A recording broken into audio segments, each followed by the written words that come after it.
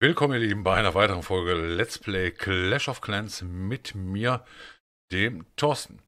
Ja, ich äh, bin voll aktuell am Farm dran. Ich habe gedacht, ich halte euch das einfach mal so ein bisschen mit fest hier und ähm, erläutere euch aber ganz, ganz sicher hier den Titel, um was es denn eigentlich ähm, bei diesem Titel geht. Äh, Connections, ja, wofür sollte man eigentlich Connections haben? Ähm, ich denke mal, wir sind ja aktuell in der Liga und viele fragen sich natürlich, ah, Toto, wie kommst du jetzt so in die vielen Clans? Überall kannst du Liga spielen. Äh, das liegt, glaube ich, ich hoffe, das liegt nicht irgendwo an irgendeinem YouTuber-Rang, den man hat oder sonst was. Das könnt ihr alle auch selber. Das weiß ich. Man muss es nur wollen. Ähm, denn äh, ich bin ja auch mit meinen, gerade mit meinen Neunern und mit dem, äh, ja, okay, mit dem, mit dem Zehner jetzt nicht wirklich, aber mit den Neunern immer mal wieder nicht mit in die Liga gegangen, weil ich habe keinen Clan gehabt. Ich habe keinen kein Clan mehr gehabt, der halt dieser, diese Liga auf diesem Niveau spielt. Und ähm, entweder waren sie höher, das heißt also, es wurden nur Abratos 10 mitgenommen, oder aber sie waren extrem niedriger, wo du dann halt als Neuner ganz jenseits von ganz, ganz vielen bist. Ähm, das, war, das war aber nie der Fall. Und des, deswegen habe ich mich ja auch auf die Suche gemacht und nach einem Clan, vor allen Dingen hier mit, mit dem Schief und habe da auch so ein bisschen meine Fühler ausgestreckt vorher schon. Bin natürlich gefragt worden. Also Top-Quelle für sowas ist immer, ähm, finde ich, das ist jetzt nur meine persönliche Meinung, natürlich die Connections, die du irgendwo nach außen hast, in die sozialen Medien, aber auch Discord, glaube ich, gehört da ganz, ganz stark zu. Ich bin ja in etlichen Discord-Servern, ob das jetzt CWL ist, CEC, Local Clash und äh, etliche andere noch, na, na, natürlich auch in meinem selber.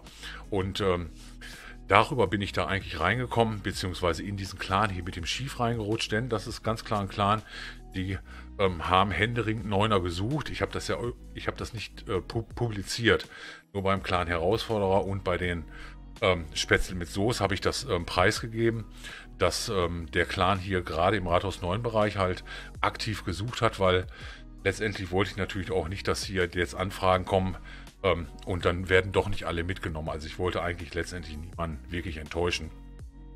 Ich glaube, das können wir aber abbrechen an der Stelle. Ich wollte halt niemanden enttäuschen. Und ähm, deswegen ist das eigentlich so gekommen, dass ich im Clan, oh, later, ich mache das mal later, ähm, deswegen äh, bin ich hier im Clan Kingdom, ist ein Level 13 Clan von jemandem, den ich auch ähm, kenne.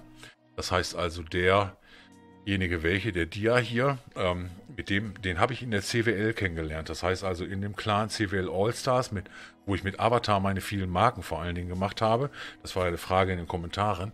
Woher hast du so viele Marken mit dem Avatar? Ich hatte ja über 800, weil ich alle Ligen mitgespielt habe und wir haben immer gewonnen. Das heißt also, ich habe selber gute Marken gemacht dort. Wir haben die Kriege immer gewonnen. Deswegen ähm, kommt man dann auf so viele Marken. Und der Dia hat mich halt gefragt, Toto hast ein paar Neuner, denn wir sind so ein bisschen unterbelegt oder als unterbesetzt hier, vor allen Dingen in den Bereichen. Das seht ihr hier unten auch. Und ja, so bin ich, so bin ich eigentlich in diesen Clan reingerutscht. Also so ein bisschen die Fühler ausstrecken, bisschen so hier und da auch mal ein Ohr haben. Und ähm, dann, das schafft jeder. Also ganz, ganz abseits hier vom Toto oder was auch immer, das packt jeder. Ähm, der ähm, so, so ein bisschen was äh, in seine Dorfpflege reinnimmt. Dorfpflege meine ich natürlich jetzt nicht so super, super gerusht und mich nimmt ja nie einer mit. Ähm, kann ich wenigstens ein paar Marken ableachen. Aber ähm, ja, so bin ich hier letztendlich reingerutscht und das meine ich eigentlich so ein bisschen mit Connection. Gucken wir mal in diese Connections rein, wie die sich so schlagen. Eigentlich ist ja jeder da für sich selber verantwortlich, dass er äh, so ein bisschen zusieht, irgendwo Liga zu spielen, Rathaus 7, Rathaus 8 oder sogar tiefer. Mich würde, eigentlich interessiert mich tatsächlich brennend, ob es auch Ligen gibt, die so im 7er, 6er, 5er, 4er Bereich dieser, diese Liga spielen. Und ähm, ich habe tatsächlich den Alex frei. Der Alex, ist, der Alex ist leider einer, der diese Liga auch nicht mitspielt, als Rathaus Neuner, der jetzt erstmal sieben Tage nichts macht, wirklich nichts macht, außer ein bisschen vielleicht sein Nachtdorf pushen. Aber sonst macht er halt wirklich gar nichts. Und äh, mit dem wäre ich äh, unter Umständen sogar bereit, jetzt ab, äh, ich muss mal gerade gucken, ab, ab Sonntag, Montag bei euch in die Clan zu kommen, vielleicht auch sogar in den Livestream am Wochenende. Äh, da bereite ich mich übrigens gerade ein bisschen vor. Ich muss gerade mal ein bisschen in, in den Himmel reingucken. Die Base ist übrigens wirklich nicht gut. Nehmt, nehmt die nicht. Die Base ist wirklich nicht gut. Nehmt die nicht. Ähm, Denn äh, mir ist heute Abend ein Licht ausgefallen und ich musste jetzt so ein bisschen improvisieren. Ich sehe auch, ich bin, ich bin ein bisschen überbelichtet, also ein bisschen zu stark beleuchtet, weil ich jetzt von der Wattanzahl nichts anderes, nichts anderes da hatte, als dass ich das jetzt improvisieren musste. Aber ich denke mal, bis zum Livestream am Samstag habe ich in jedem Fall wieder die passende Wattstärke hier oder die weniger Wattstärke, denn es ist doch ein bisschen, bisschen arg hell hier jetzt, aber ich kann es halt nicht runterdimmen. Ähm, Deswegen verzeiht das, aber ich glaube, ja, ich sehe das gerade so ein bisschen in der Aufnahme. Ich glaube, gerade noch so in Ordnung. Ich habe die Kamera so ein bisschen runterbelichtet. Und ähm, deswegen, also wie gesagt, es ist jeder für sich selber verantwortlich, was er denn macht. Der Klaus ist mit uns hier rüber. Wir haben hier also, ähm, in der Clan-Beschreibung steht es übrigens drin, sechs Gäste. Da kommen wohl drei von den Herausforderern oder vier. Ich komme jetzt da von der Spätze mit Soße. Da sind wir sowieso nur noch drei oder vier Neuner. Und ich glaube, einer ist noch von Dia seiner Truppe. So ist das hier eigentlich aufgebaut. Aber der Marco, der Klaus Kinski, hier hat das sehr, sehr gut gemacht. Auch diese Base geregelt. Ähm, ich hätte fast gesagt, in, in, die, in diese Base, also falls ihr sie nochmal seht, da kannst du die Truppen von irgendwo reinschicken. Mit ein bisschen Golem, mit ein bisschen Helden, mit, mit ein bisschen Hexen. Ähm, die ist wirklich nicht mehr so, so optimal. Ich meine, da, da muss jetzt ein, ein sehr ungeübter Angreifer sein, um diese Base hier nicht zu schaffen. Ich meine, es ist schon eine knappe Kiste gewesen, die er hier fährt. Ich glaube, im letzten Livestream habe ich diese Base hier mit Donnerbengel gemacht oder mit Alex, genau weiß ich es gar nicht mehr. Ähm, da kann man auch die Golem schön immer rumlaufen lassen, immer schön ein paar Hexen dabei. Und irgendwann gehen die, gehen die Truppen ja in der Mitte, weil nichts mehr außen ist. Also, cool gemacht hier, schönes Ding. Ja, mal ein bisschen höher. Und wir schauen mal, was der Stier hier so gerissen hat auf diese alte Ringbase hier. Also vor allen Dingen mit X-Bogen auf Boden, Luftboden, Boden. Da bietet sich so ein bisschen, finde ich, jetzt äh, ähm, auch, na, auch eine Lufttruppe ähm, an. Vor allen Dingen ist, sind diese Bases hier mit den äh, Single Infernos nach wie vor anfällig gegen Luft. Ähm, denn äh, ich gebe euch mal einen kleinen Tipp, euch 10er oder 11er vielleicht. Ich meine, er ist jetzt ein Rathaus 10er. Ähm, die Valkyren ich hätte fast gesagt, wenn du sie so früh setzt, dann können die nur einen Rundlauf machen. Ich halte das hier eben mal an. Wenn ihr solche Bases halt mit Valkyren macht ähm, oder irgend noch was im Backend habt, dann müsst ihr zusehen, dass mindestens 180 Grad, ich markiere das hier mal von dem Bogenschützenturm bis zu der Luftabwehr hier, muss alles geklärt sein vorher, bevor man die Valkyren setzt. Denn äh, sonst, die laufen einfach, die laufen nach rechts und links raus und dann ärgert man sich, äh, meine Valkyren laufen alle raus, ja. Weil du musst diese 180 Grad klären, sonst kriegst du die Truppen nicht in die Mitte. Denn die nächsten Gebäude, die die anvisieren, sind noch meilenweit nahe oder, oder viel zu nah, als dass jetzt Valkyren hier in die Mitte latschen würden.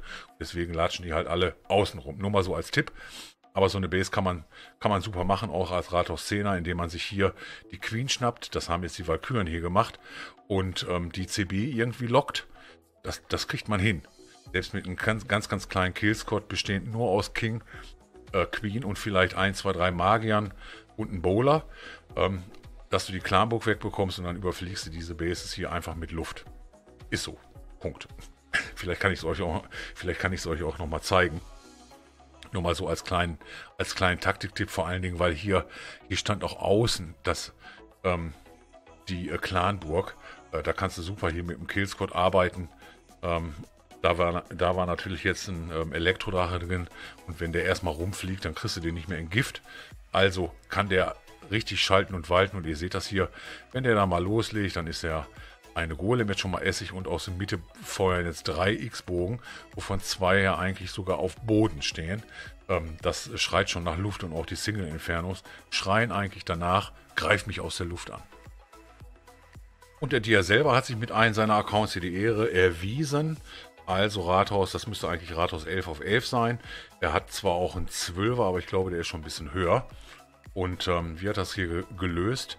Mit Bowler und Heilern. Ich gehe mal ein bisschen näher für euch rein, dass wir das auch ein bisschen genauer sehen. Und äh, ja, ich meine, wenn ihr eure Accounts nicht in die CWL reinbekommt, aktiv, ich meine, Ableachen ist immer, wenn euer Clan dann gewinnt. Mit Ableachen, das habt ihr mal in einem Video gesehen, meine ich natürlich einfach die Marken kassieren für den Clan, immer schön die Daumen drücken, ähm, dass die für euch die Siege reinfahren und dann erntet ihr natürlich die Marken aus der Liga, wo die gerade sind. Ähm, denn sonst tretet ihr so ein bisschen, ja, ihr tretet einfach so ein bisschen auf der Stelle, so wie ich das auch manchmal mache.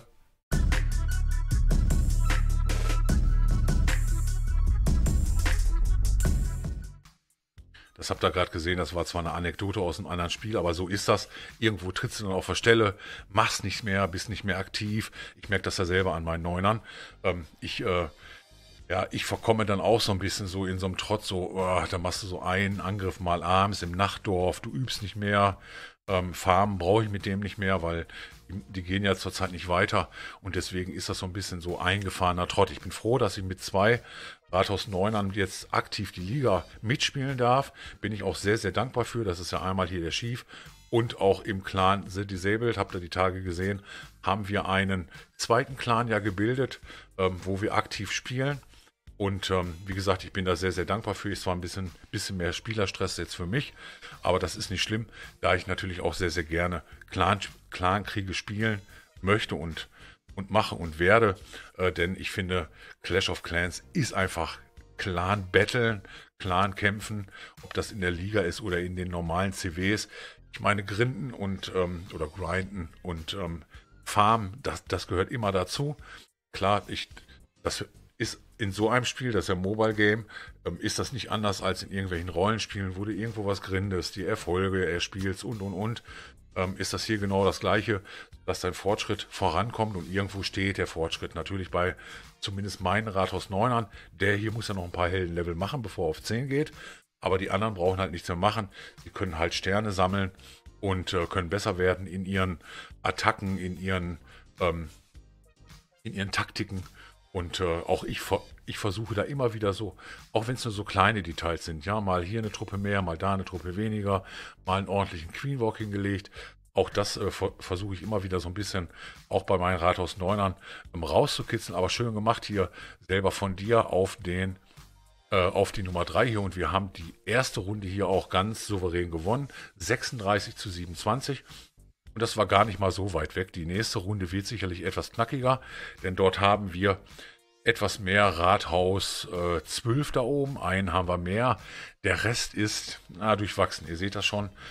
Äh, jetzt müssen wir schon ein bisschen mehr überlegen, denn ähm, hier unten, das seht ihr jetzt, ihr seht das jetzt auch mal. Wir sind eine ganz gute Partie Neuner hier unten. 1, 2, 3, 4, 5, 6 Neuner hier unten. Der Gegner hat auch Neuner, hat nur einen Achter. Also der Vorteil ist jetzt schon nicht mehr ganz so deutlich. Und auch hier 11 gegen 11. Ich gucke mal, was der CR7 hier so als Base für mich denn hat, als mein Gegenüber. Und ähm, ja, das ist eine 9er Base mit einem 10er Rathaus mit ähm, Helden, die nicht ganz so stark sind wie meine. Also erstmal so groben Daumen geschätzt. Ähm, kann das was werden? Ich denke mal, auch die Luftabwehren sind alle noch auf Rathaus 9 Niveau. Also das ist noch keine 10er Base. Und der hat, Kollege selber hat auch erst 200 30 Truppen, also da tut man sich auch noch im Rathaus 9 Bereich schwer, es sei denn, du bist ein ganz guter Attacker und ich glaube, der Clan-Gegner mit Level 10 ist jetzt auch nicht ganz so vom Pappe. Also wie gesagt, seht zu, dass ihr in den nächsten Ligen mit euren Accounts irgendwo unterkommt, haltet die Ohren auf und bleibt da einfach so ein bisschen am Ball. Das sind so meine kleinen Tipps, die ich euch geben kann, da ich sie ja jetzt selber mit diesen Neunern hier so ein bisschen erlebt habe. Und äh, von daher würde ich sagen, wir sehen uns in jedem Fall am Wochenende. Ja, wir sehen uns natürlich im Livestream am Samstag. Und ähm, ihr seht aber heute Nachmittag, Spätnachmittag noch eine Brawl Stars Folge. Ich bleibe jetzt einfach mal so sitzen. Also die, die dann beide Videos gucken, die denken sich auch, der Tuto zieht sich nie um. Ne, der bleibt jetzt einfach sitzen. Haut euch noch eine Brawl, eine Brawl Stars Folge um die Ohren heute Nachmittag, denn da gibt es auch ein bisschen was Neues. Da steht auch für mich die Zeit nicht wirklich still. Ich gehe da einfach weiter. Bis dahin. Bye bye, euer Toto. Best.